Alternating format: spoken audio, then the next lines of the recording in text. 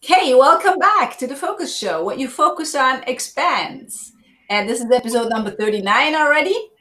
With me, two incredible experts from Chile and Mario. Where are you from? I'm from Germany, Regensburg, Germany. Ah, Chile and Germany and Switzerland. So, welcome. This this uh, show today is about relationships. So in relationships, more than anything, what you focus on expands. If you're focusing on all the things that don't work in your relationships, it can be business, intimate, partners, kids, whatever relationships, then of course that will expand. And if you focus on the bright side, that will expand. So Mario, can you quickly introduce yourself, please? Yes, uh, thank you very much, Natalie. Well, I'm Mario. Uh, for over 16 years, I've been working as an expert for relationships, communication, and um, I do I do it uh, uh, in whole Europe in three languages: German, English, and Spanish. Wow. And I work with individuals, uh, with teams, and with companies. And we try to get good relationships in order to be more effective, to have more fun in life, and you know stuff like that be effective and have more fun. Two things that are not necessarily going hand in hand. But I think, you know, because it's always about emotions. And if you have a relationship uh, which gives you good emotion and mm-hmm. you give good emotion back, then it brings you in a state where you can perform better. And so it makes you more effective from my point of view. Yeah, totally agree. Totally agree. Interesting. So, what are you going to share with us today, Mario? Uh, well, I'm going to share with you some. Uh, I, I, developed a system which is based on emotional intelligence, and uh, so I took from several sectors of knowledge and uh, science. I took some golden nuggets and uh, brought them into a system with a lot of pictures. And so I'm going to give you one or the other picture and, and metaphor today. Okay. Does that have a, have a name, the system?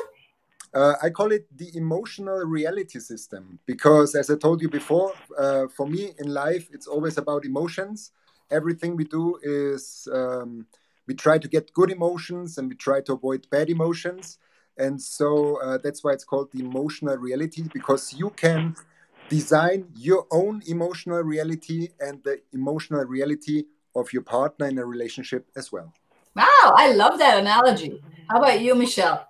Emotional reality system. yeah. I'm loving the sound of it. I'm so excited that Mario is on the call because he's without a doubt more of a relationship expert than I am. So I'm here to learn, and that's great.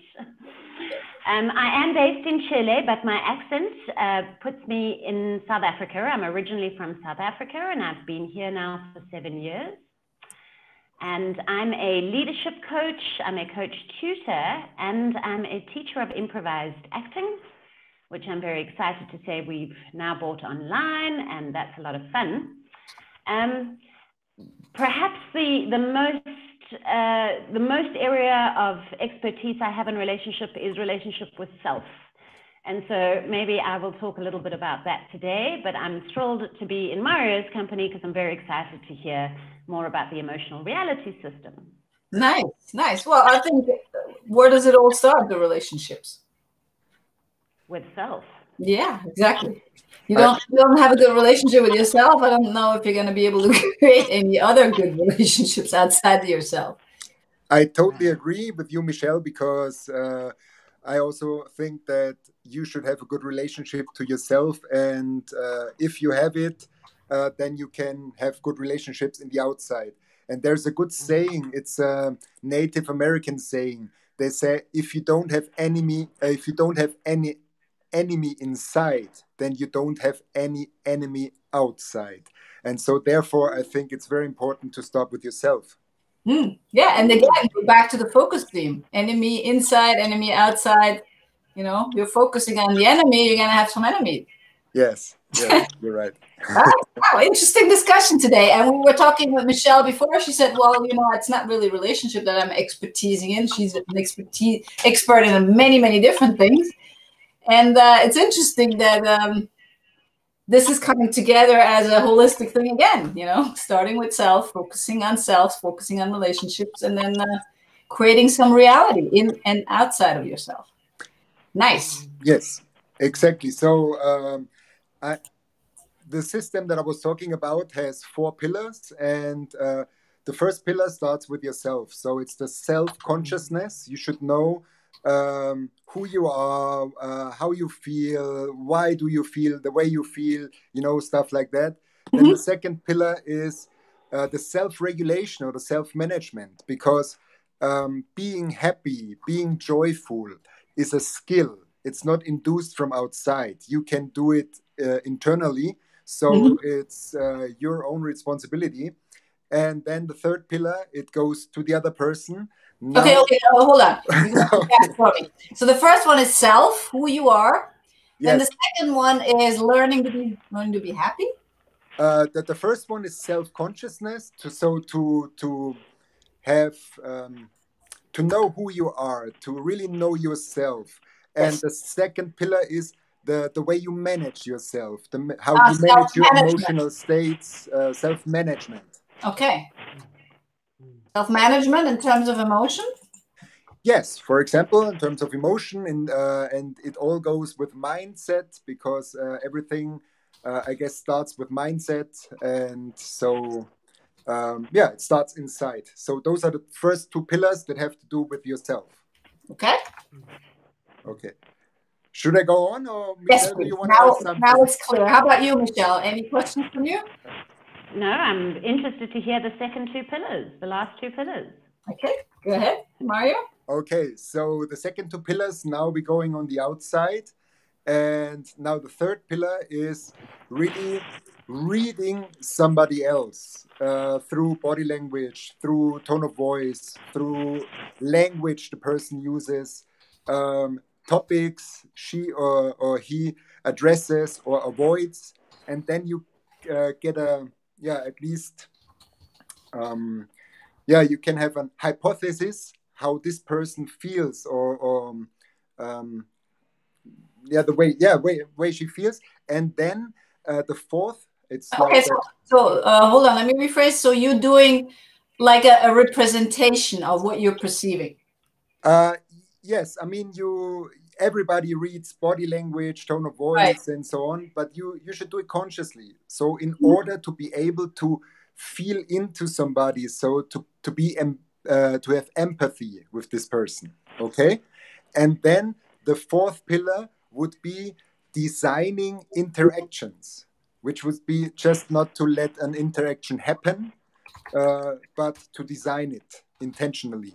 And those are the four pillars of the emotional reality system.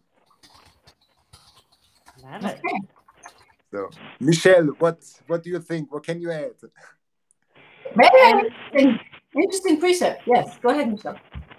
Mm. While you were talking, actually, um, what came to my mind um, amongst what you were saying is how we can sabotage relationships or the games we play in relationships. So, two of the models that I use in coaching came to mind. One is the transactional analysis, mm-hmm. the treating each other as adult to adult and not parent to child. And the other one that came to mind is the Karpman's drama triangle. So, being the, the hero or the perpetrator, uh, the persecutor, that triangle, these games that we subconsciously play with one another um, to sabotage each other. So, does your system address those, Mario?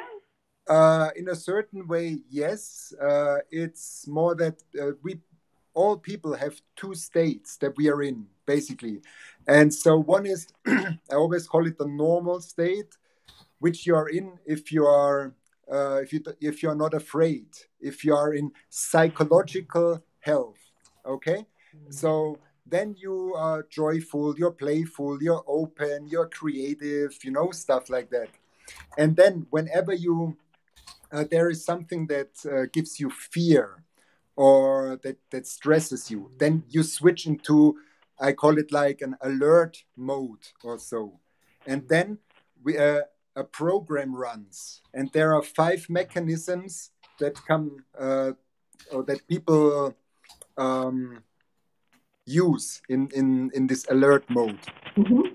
So, sh- should I go on, or do you have a question? Yes, uh, yeah, very good, thank you. So it's kind of like either joyful, happy, at peace. I also call this the true self. When you're yourself, you're present, you're Yes. in, you're you're in flow.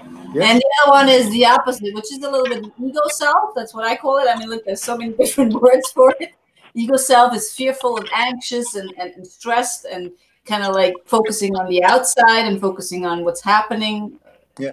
Being controlled rather than being in control. Those type of things. Yes.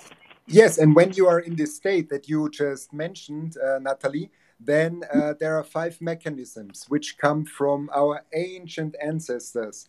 Yeah. And- and flight.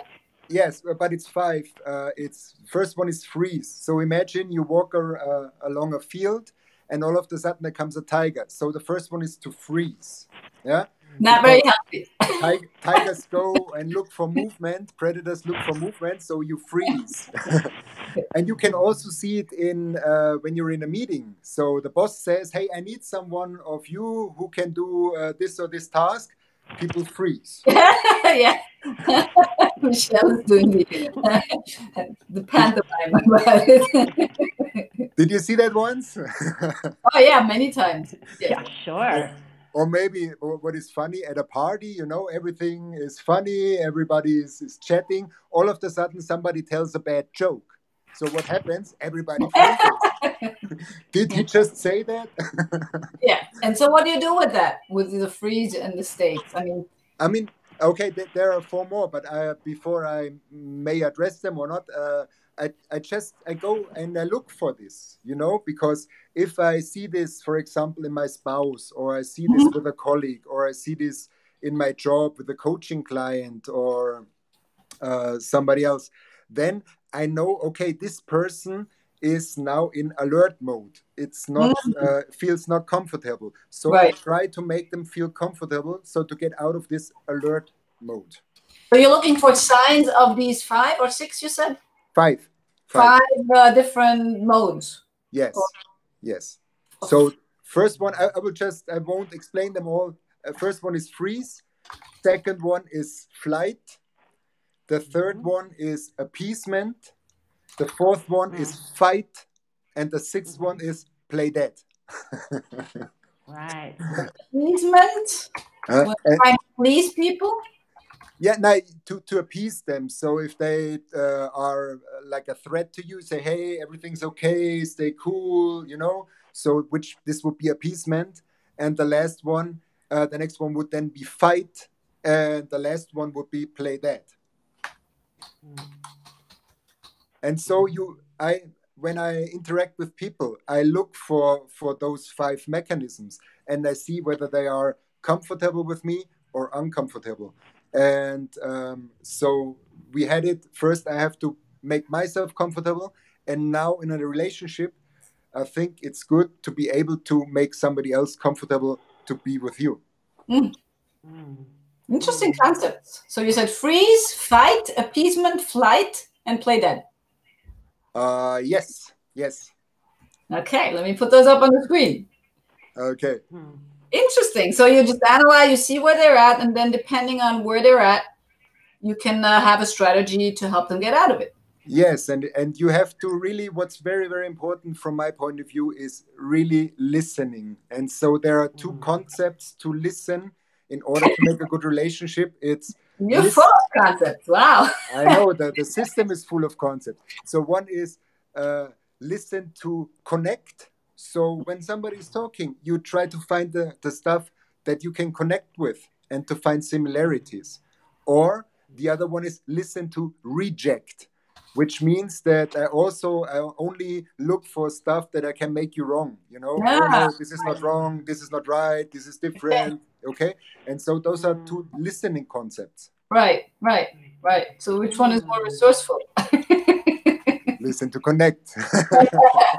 okay, let's dial in with our audience and see if they have any questions. yes. all these precepts and concepts that uh, Mario shared with us. Do you have any questions or any any feedback or anything you want to say about that? Please put it in the comments, or um, yeah, directly address Mario with the with the questions because I think it's very important. Relationships is what drives us. Yes. Anyway, it doesn't really matter whether business or not. Yes. You're right. Because uh, when you think about the last time that you were really truly happy and the last really joyous moment, it always involves other people. Yes. Um, and I, I think that uh, to be successful in life or uh, success is always based on interpersonal success because mm-hmm. if you're alone you cannot be successful really uh, uh yeah. yeah. how much fun is it to be successful by yourself I, I, mean okay there might be some situations that you can be successful with yourself but in general speaking yes. or generally speaking you need other people to be successful and therefore yes. you need interpersonal success to be successful in life very true. I recently read something interesting in a book. It said that when we, the reason why we share when we had a good experience or a nice weekend or a movie or anything is because it releases endorphins in our body that are similar to chocolate. So telling about our last weekend releases the same kind of endorphins as, if I was to eat a, a bar of chocolate. Yeah. It's more healthy, probably. I don't know. yeah, because you relive it again. And then uh, yes. We, here we have this emotion part. You relive the emotion again, and this is what we are longing for: the good emotions. Yes, yes, mm. very true. All right, wow. You're full of wisdom, Mario. We could probably go on for three hours. As you like. I have a question. Go I ahead. a question, Mario. Or maybe it's to both of you. Where, what is the role that trust plays? Very good. Do you want to answer, Natalie, or should I? trust? Well my point of view is well, based on my experience it's the basic foundation of everything especially relationships business intimate any any kind of if you don't trust someone then you're gonna always hold back. It's not gonna be what why do you ask the question? Is that just something that came to mind or um, because it feels to me, I've done some work with a colleague in the space of trust, but it feels to me that this particular year, this crazy 2020 that we're living in, we all our trust has been smashed, right? Mm. So we, we're threatened. We have to work from home. There is a lot of remote leadership. People are um, in various uh, climate surveys, people are claiming that trust is the issue that is most broken at the moment. So does a leader trust his people that they're doing their job even though they can't be seen? Um, um, so I'm curious about how we are managing relationships in a in a time where trust is a little bit vulnerable for us all. Mm-hmm. Mm-hmm. Very good. Thank you. What do you have to say about that, Mario? Uh, a very good question. Uh, I think trust is uh, the foundation for a good relationship, and you have to really uh, work on trust. Okay, and so um, I have another metaphor which is called the the relationship bank account. Okay, so Michelle, I saw you now for the first time, maybe ten minutes ago or so, and so from now on we started our relationship bank account, and now. Uh, the currency of the bank account between us is uh, emotions. So do I trigger good emotions in you, then my credit goes up. do I trigger negative emotions, my credit goes down. And if I deal with you and I trigger good emotions, you trigger good emotions with me, then the credit goes up, up, up, up. And the result of it, from my point of view, is trust. Okay? And so uh, I think it's very, very important to to work on a relationship because sometimes we might do something that hurts somebody else uh, which induces negative emotions then my credit goes down yeah? So i have to work on it so that my credit goes up again and to rebuild the trust. Lots of good emotions like massages and all kinds of good stuff. Annie callis but welcome. She's also a relationship expert from um, from uh, australia. And uh, she has a question. She says do I trust myself? Do I trust my own intuition? Uh, or he, she says, the question is, do I trust myself? Do I trust my own intuition? We know our answers, however, our minds talk us out of it. Yes. Very true. Would you like to say anything? Yeah, go ahead.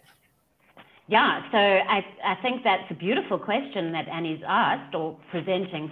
I guess that's the basis of it, right? We were talking about the relationship with self being the primary relationship. And so that trust as Annie is so rightly saying, is pointed back toward us. Do I trust myself in this situation? Do I trust uh, my resources and my tools and my emotions? Yes. Loving that. This this puts us back to base one, what we where we started.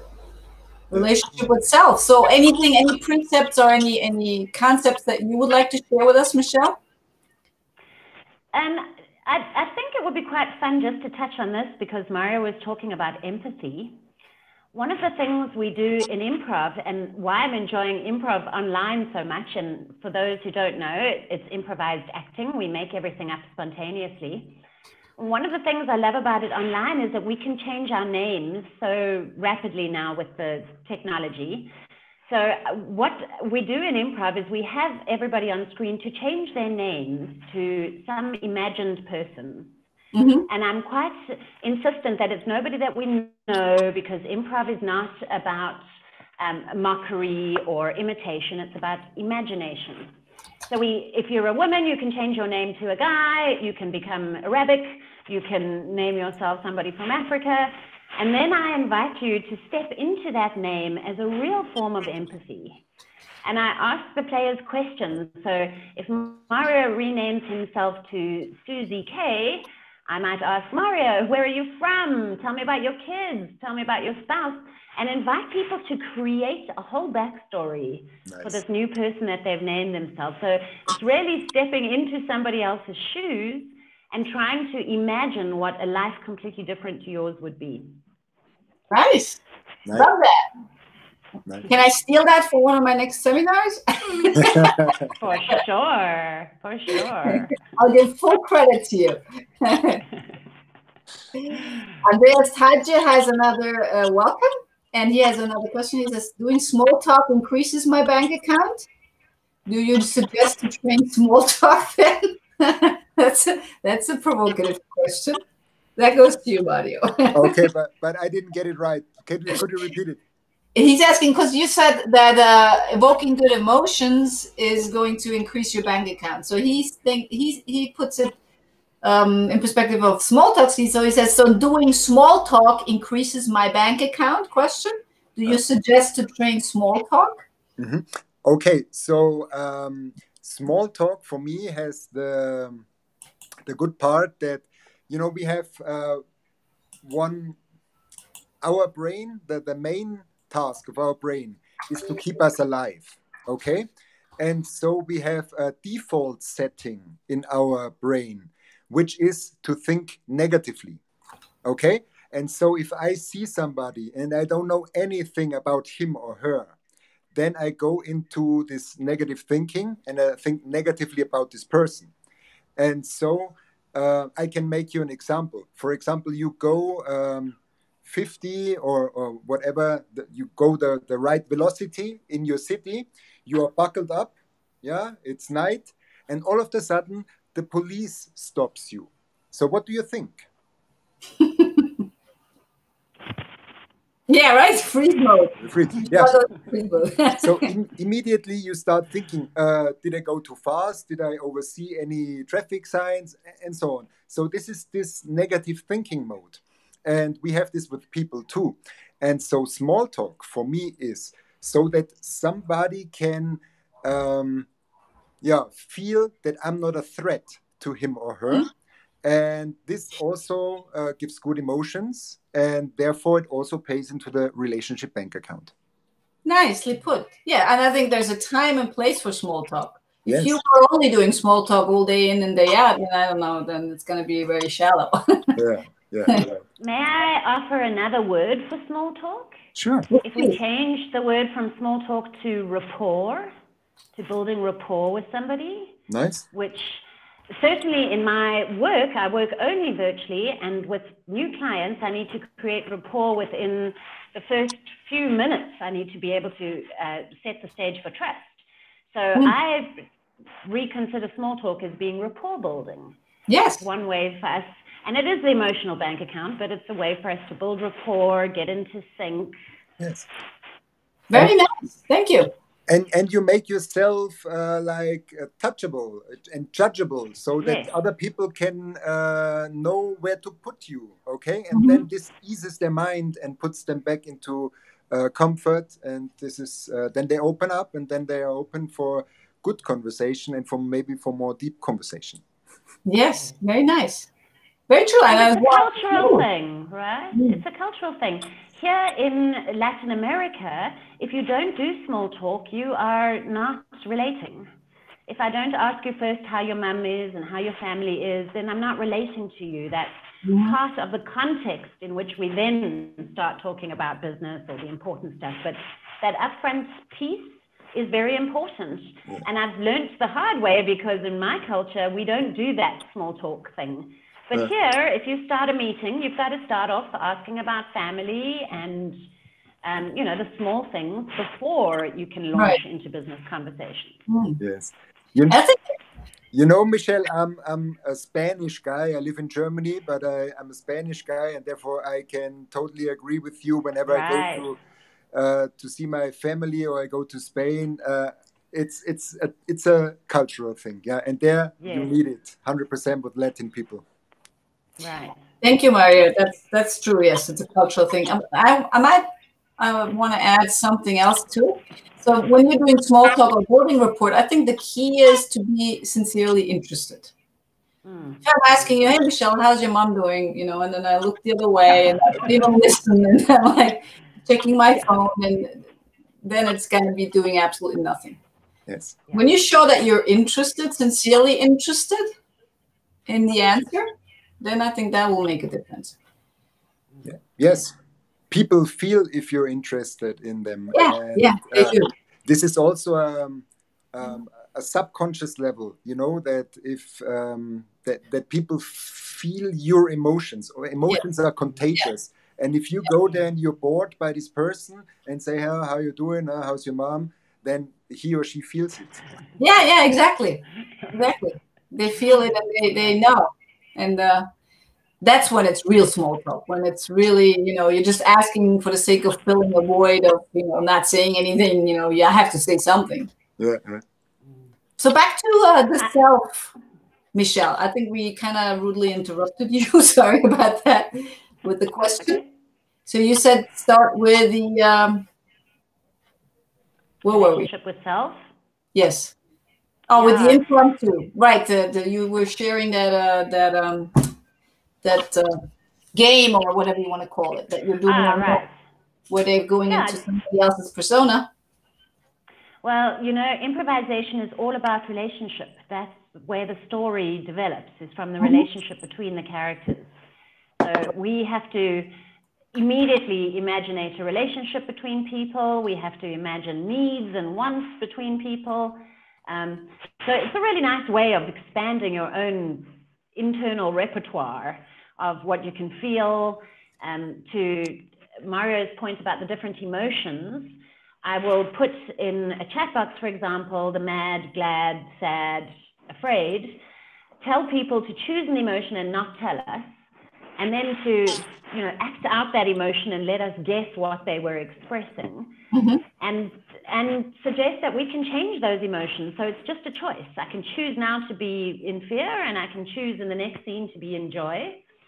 And I'm and when I build that muscle that I can do that regularly, then in my own life I can switch. great Yeah. Very true. yes Very true. It's also true for when you're on stage and you have a range of emotions that you can pull out of a chest of drawer a little bit in order to get to a point that you need to make. That's also very helpful. So I think that is a good training also for people speaking on stages. yes Very interesting conversation. Wow. Who would have thought that? All right. So if you have any final questions, we're going to wrap this up soon. Then please put them in the comments. Any final words that you two would like to share with our audience? um, michelle you want to go first Uh, yes, let me go back to where I started, which was the relationship with self. Um, I've had a really interesting relationship with self this year because we've, um, I am alone at the moment, living alone, and I've really had to um, self accept in a way that, that often we can distract ourselves with the busyness of life and we don't have to look at ourselves so closely in the mirror. And part of that self accepting is um, yes, I can change my emotional state and I can come into joy. And I can also be okay with all my flaws. When I watch myself do something out of character, I can forgive. Um, you know that we're we're so flawed as humans. So it sounds great to be in that perfect where I can choose my perfect emotion and my perfect joy and stay there. But I fall and stumble, and to say that's okay, and I, I'm still loving myself regardless of when I'm not, you know, presenting in the best possible way. Annie understands, she says. Yes, I know that, yes, I know that one. okay, so, so you're saying it all starts with self acceptance. Yeah, self acceptance in all our. I, am um, sometimes I watch myself knee jerk. What we say in English, I do a knee jerk, and um, I'm thanks to the year, thanks to hanging out with myself so much, I've learned to like be, oh, look at me. That was so interesting. I knee jerked without giving myself a hard time, you know, being in a, in a, a loving relationship with myself, even when I blow it. What is a knee jerk? A knee jerk. Oh, I'm, I'm, for some reason, I'm angry at you, Natalie, and I shout at you, or I knee jerk at you, or I, I do something that, that I wouldn't want to because I'm knee jerking. So it's like um, that happens from the same when the dust the duster hits your knee in the you know physical reflex. ah, okay. how, do you spell that? Knee jerk or knee jerk yeah. or knee jerk? Jerk. J J E R K. Ah, jerk. Okay. My, my knee jerk. Knee jerk, you know. knee jerking. Ah, so knee jerking is kind of like you know out of the blue. You're just yeah, like when I surprise myself by my own bad behavior, but then I can, and then I can forgive myself and go, that's okay, that's okay. Just, um, you know, and, and maintain that relationship with self in a way that I'm not giving myself a hard time, but just saying that's okay. Okay, forget, forgiving knee jerking. nice. All right, so that will be the word of the week for Michelle. Forgive your own knee jerking. Me too. Oh, thank you. Yeah, I mean, I mispronounced it, misspelled it. Okay, there you go. All right. That's with self acceptance and forgive your own knee jerking. Nice. Thank you for sharing this. Yes, I will remember that. Michelle, I, I like that a lot. Uh, your concept of the self love, I would call it, because it's very, very important because we have different inner parts in us and they're all part of us. And sometimes we suppress one part because the other part says for example you have to be perfect all the time you have to yeah you have to be good all the time and all this but we have everything in us. So it's like yin and yang and sometimes yeah. we suppress one part and it's good to give this suppressed part a hand and to say hey this is also part of me and it's okay that uh, this part is here and then i can consciously maybe i always imagine this like uh, there are several characters in me who give me advice okay mm-hmm. and so i can lower the voice of one and i can uh, uh put the volume of the other one up so that they are getting in balance again and so self-love is very important for that Okay, nice. So you would lower the voice of your inner devil and uh, raise the voice of your inner angel. or something like it. Okay. Is that what you would like me to put up on the screen as your final? Uh, my, my final um, word or suggestion for the people would be uh, because we live like uh, neuroscience says that 80 to 90% we live in autopilot or we are on autopilot. And to get out of the autopilot and do things more consciously. Uh, sometimes, um, for example, in a relationship, you you have a colleague and you always end up in a fight with him or her. This is because you're in your program in your autopilot, and mm-hmm. there I would suggest to maybe step back, try to get out of the autopilot, and do something differently in a conscious way, mm. and then see what the outcome is, whether the outcome is uh, different or not. Nice. Do a pattern interrupt with yourself, slap yourself across the face, and say stop. Nice. Thank you very much. Very super helpful. And this was a very ambiguous, interesting conversation between the two of us, or the three of us. Um, thank you very much for contributing. Yeah, thank you very much Thank for you the very opportunity. much. Any final questions? You're probably not going to type that fast. Otherwise, we're going to wrap this up. I'll see you again next week. And uh, yeah, it was was fun. Yes. And uh, once again, Awesome, Thank you. thank you so much for contributing. Yeah. Thank you. Thank Bye-bye. Bye. Have a nice afternoon.